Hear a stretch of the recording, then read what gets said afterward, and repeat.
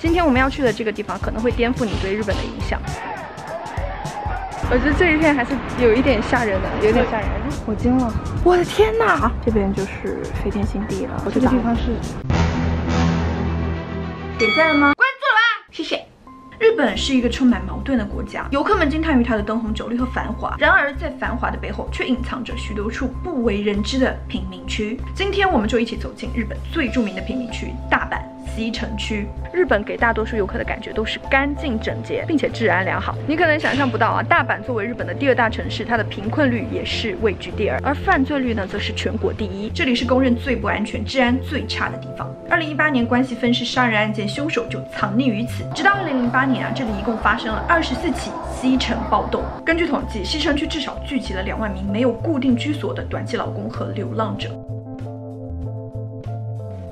这一片本来是公园啊，现在已经变成了他们的住所。这边是他们洗的衣服嘛，在这里晒啊。在街道上四处可见木板甚至是铁皮搭建的简易屋，到处弥漫着一股就是有一点臭臭的味道，你懂的。走在路上，经常可以看到很多人啊是躺在地上，或者是坐在路边。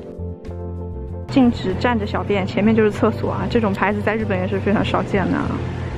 我们在路上看到很多蹲在路边的，好，基本都是一些建筑工人，因为你们看一下我身后。包括这一路很多建筑工地，然后它也不是那种大型的，就可能是只是一些小的项目，所以他们就会召集很多日结的工人来这里做事，他们也不会给这些人提供食宿和保险，所以他们就群聚在这里，形成了一个非常不一样的地方。这些人平常收入非常低，也没有固定的工作，很多人会酗酒、赌博、打架，甚至是吸毒，所以周围也是不断的有警察在巡逻。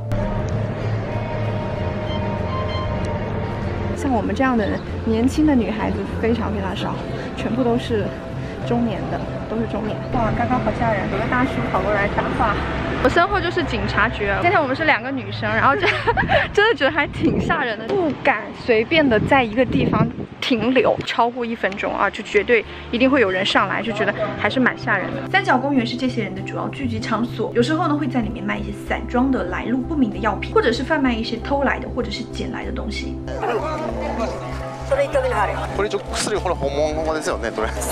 居酒屋里面不要贩卖毒品，禁止暴力团关系的毒品的使用。让我拍出去。看来这里毒品问题真的很严重。在这里有一些东西的价格真的是低到让人惊讶。这边的自贩机是五十块钱，这在日本几乎是看不见。我是第一次见这么便宜的自贩机。本来五十块钱的饮料已经是我第一次见到了，可是没想到。我的天哪，三十块钱，两块钱。九月，等一下，九月二十一号 已经过期了。那我们手上的这个是不是因为是快过期，所以才便宜？百块钱的空运肉肠，这个在日本也是非常低、非常低的一个价格。这家的便当是真的便宜的，均价就是两百多，两百以内，全部是这种主食。这家超市的便当真的是出奇的便宜，东京不可能见到的场景。前面那个是旅馆，五百一天，三十块钱一个晚上。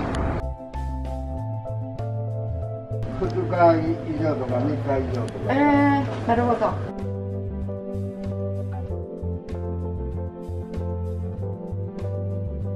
刚那个老爷爷告诉我，他其实不能住一天的，基本上都是一些短租啊，半个月或者是一个月这样子。但平均下来一天的话，差不多是五百日元。这件衣服全部二十块。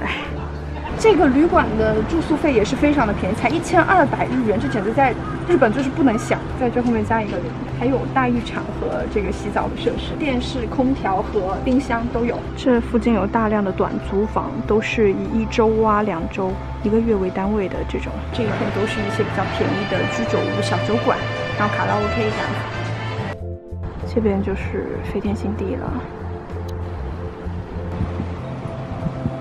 在西城区有一个劳动福利中心，是帮助那些无家可归的人，会给他们介绍一些简单的工作。同时呢，还有好几个老年福利中心，可能也是因为这个原因啊，才让这些人聚集在了这里。现在在这个地方，然后呢，我们待会儿想要回去看一下这个艾琳的劳动 center。虽然我之前已经做了一些心理建设，但是看到的时候还是大为震惊。墙角那边是成堆的垃圾。排一排的人就躺在地上，劳动中心门口还站着一群工作人员在维持秩序。我身后呢就是大阪的西城福祉劳动中心。我刚进来的时候真的是有点惊到了，门口全部都是垃圾，然后地上睡的都是一些，应该是一些流浪者。我刚刚看到这个，其实在日本租房是一件非常困难的事情。但这边的房子是专门提供给那些在这里吃低保啊、没有生活保障和来源的可以暂时入住的房子。尽管日本政府采取了一些援助啊，但是西城区的流浪人口却有增无减。究竟是什么原因才导致了他们的现状呢？这跟日本的临时工制度脱不开干系。九十年代，日本泡沫经济破灭之后啊，陷入了长期低迷期，大批企业破产倒闭啊，导致很多人下岗。同时呢，终身雇佣制也不得不解体，越来越多企业去雇佣便宜的日结临时工。二零一二年，日本临时工的人数已经从一千万涨到了一千八百万，占到了总劳动人口的百分之三十五。临时工没有保险，工资也不稳定，而且也没有办法升职加薪。所以呢，随着年纪越来越大，临时工和正式员工之间的贫富差距也是越拉越大。一旦出现任何的变故，他们的生活就会崩塌。有一些人在失业之后，为了逃避信用卡欠款和房贷，只能去公园的长椅上过夜，然后呢，白天就躲在别人看不见的地方。慢慢的，这些人可能也就变成了流浪者。而更让人郁闷的是，在日本，即使你要做临时工，也是需要一个固定住址的。如果你居无定所，即使想要努力去翻身，也做不到，只能是陷入到一个死局里面。这些人之中有很多都是曾经的城市建设者，那些宽敞的马路和漂亮的大楼都有他们的一份心血，而如今却得不到妥善的安置。谁来给他们这个机会呢？这样颠覆认知的日本，你又怎么看呢？传点赞，森里，森里，森里。兄さんやらないか